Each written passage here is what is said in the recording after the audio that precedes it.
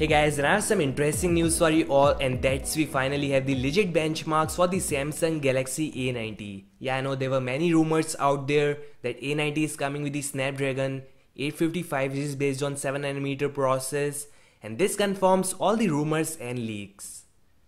So first thing the Galaxy A90 5G has a model number SMA98N and it's having a suffix N which indicates that this belongs to South Korea. On the other hand, the SM-A98 and the SM-A95 without any suffix is for the global markets.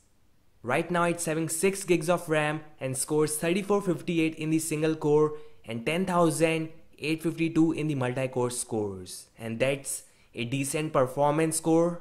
It's on par with the Galaxy Note 10 scores we got a few days back and interestingly it's even higher than the Galaxy S10 multi-core score we have right now on the top of Geekbench. So that makes it the most powerful phone coming in a few months. That's amazing.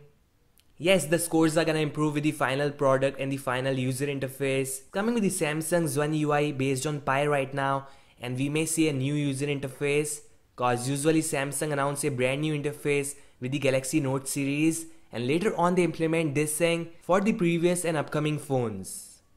So get ready. Now most interesting part is that we are not getting any Exynos variant. We have the Galaxy S10 flagship with the Exynos 9825 and the Note 10 is gonna feature the same in a few markets. So yes, if you're planning to purchase a Samsung phone with the Snapdragon 855 but there is only Exynos variant in your market, then you should wait for this one, the Galaxy A90 because it is coming with the SD855 for the global markets.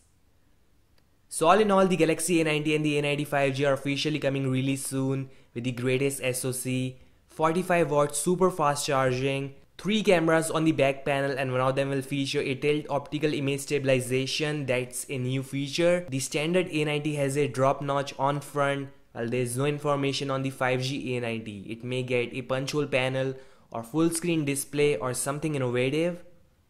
So yeah, that's all. And I think at this point we may see the A90 and A90 5G really soon. Thanks for watching, like and subscribe. I'll meet you guys in the next one. Peace out.